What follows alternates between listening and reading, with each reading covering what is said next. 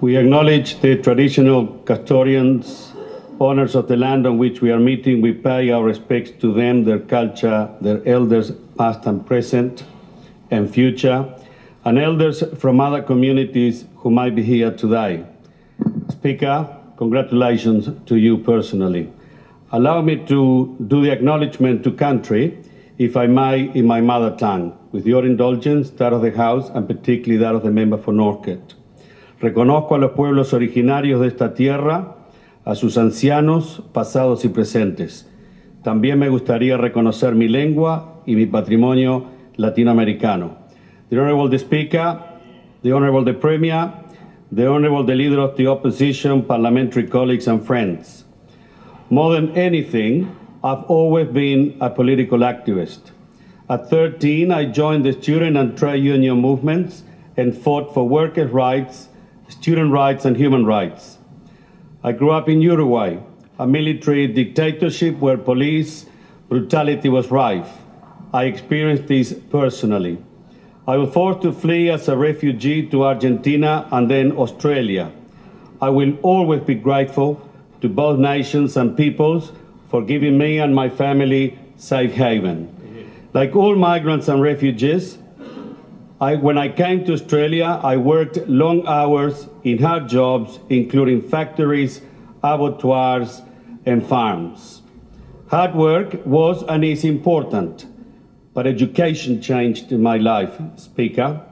I have always drawn upon, upon much inspiration from Nelson Mandela, who said that education is the most powerful weapon which you can give to a young man or woman to transform their lives, that of their families, their community, and indeed their nation.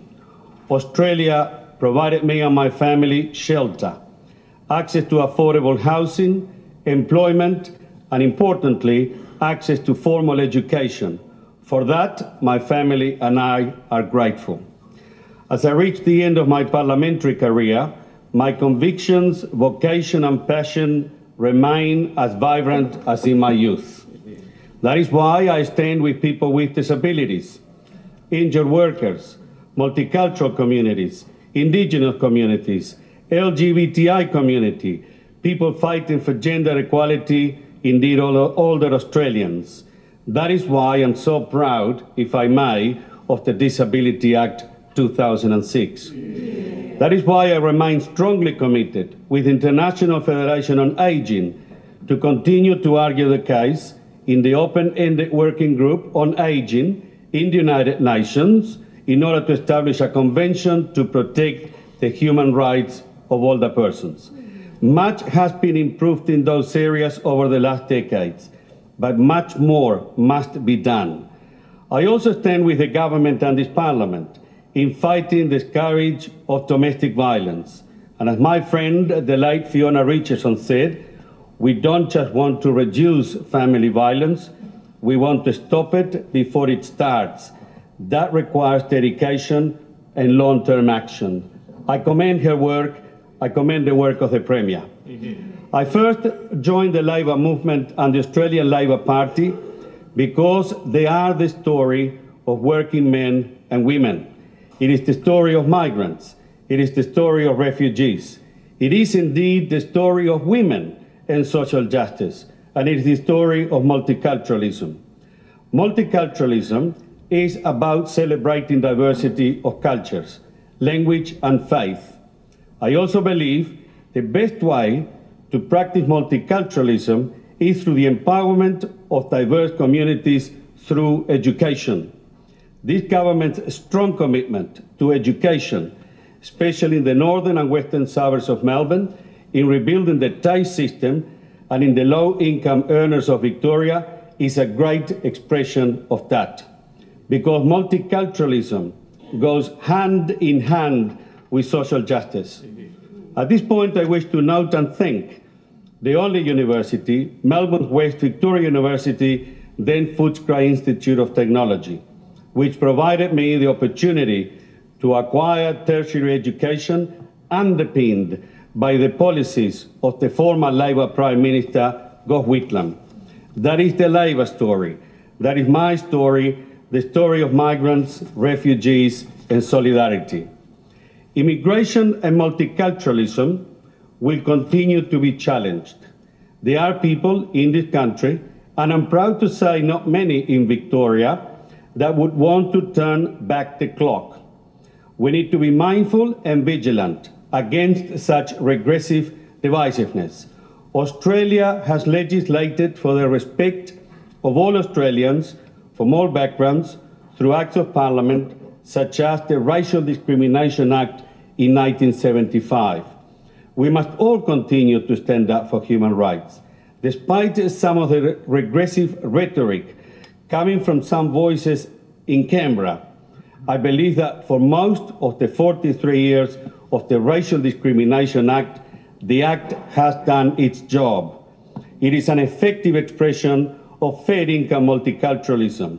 As the former Race Discrimination Commissioner said, the Act has proven to be a powerful instrument of justice.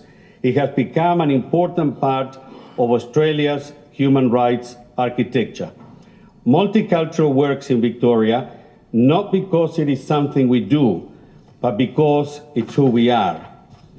Multicultural communities have underpinned our commercial engagement with China, India, and indeed now Latin America. I commend the Premier of Victoria for his vision and the Victorian Minister for Trade for his vision on their outstanding work in launching globally connected Victoria's Latin America trade and investment strategy. As the Premier stated, this ambitious blueprint for Victorian engagement with Latin America will see our trade double in value in the next decade. I believe we must continue to change the paradigm that used to define our relationship with Latin America from one of competition to one of collaboration and com complementarity. I quote my friend, the Minister for Trade and Investment, who said, Our Latin American strategy will help Victorian companies deliver our products and services to new markets while expanding and creating more jobs here at home. The Victorian government is also commit, committed to working with Aboriginal Victorians towards Australia's first treaty. May I repeat this?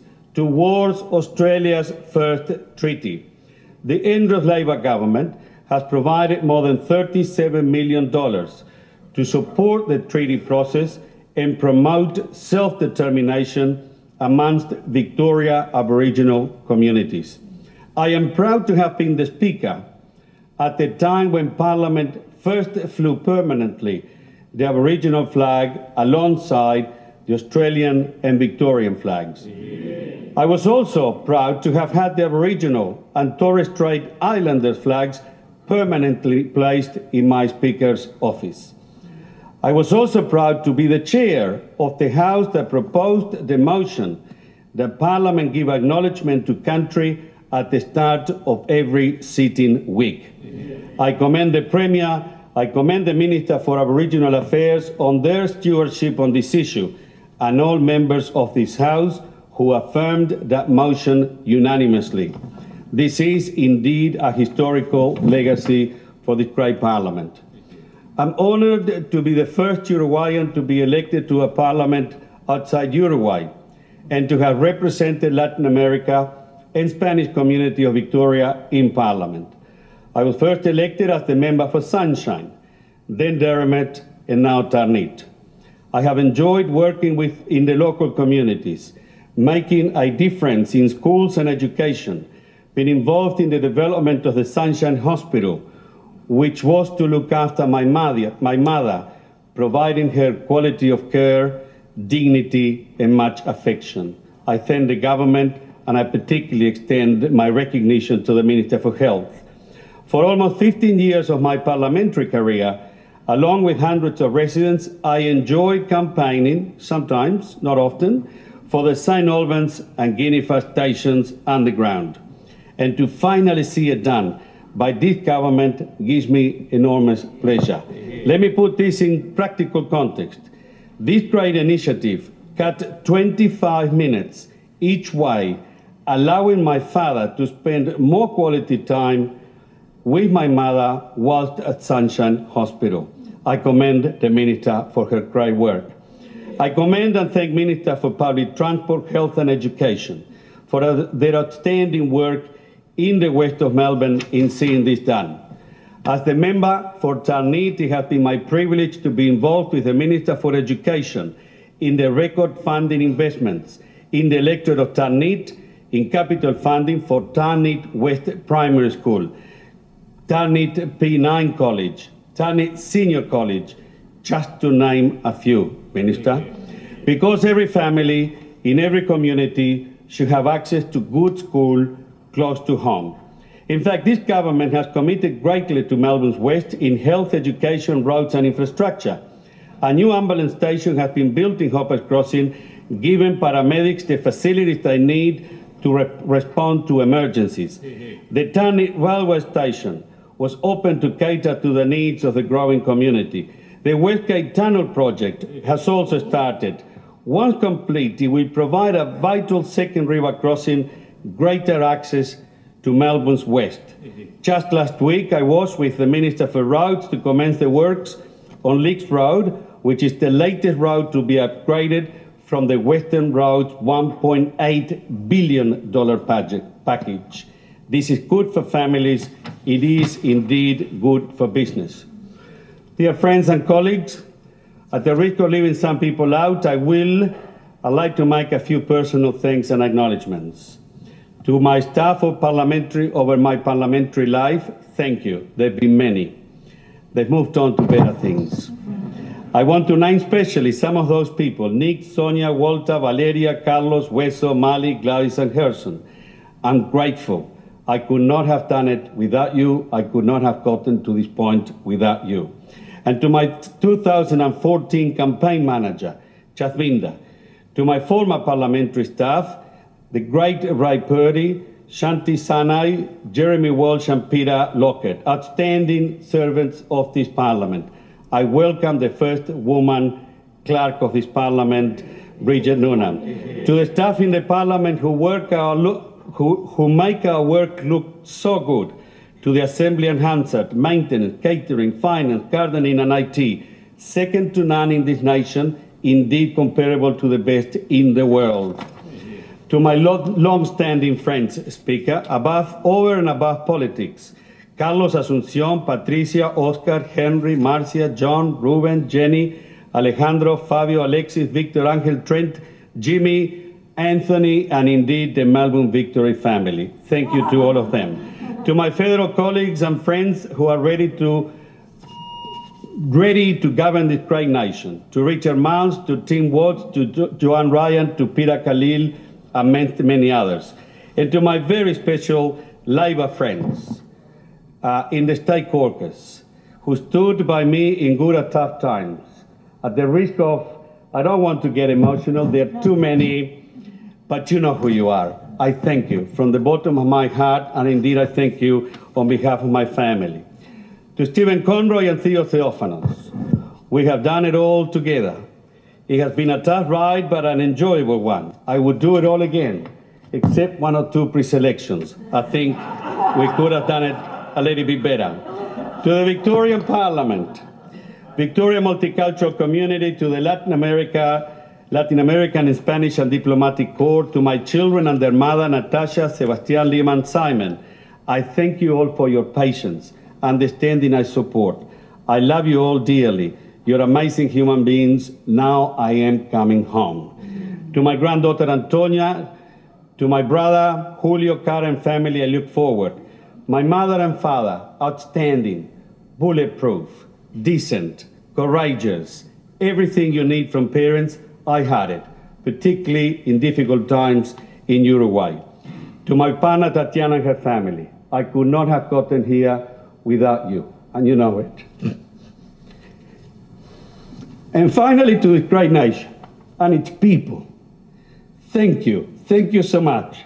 Allow me to say this in my mother tongue. a esta gran nación y a este gran pueblo. Le digo salud. Gracias. Thank you.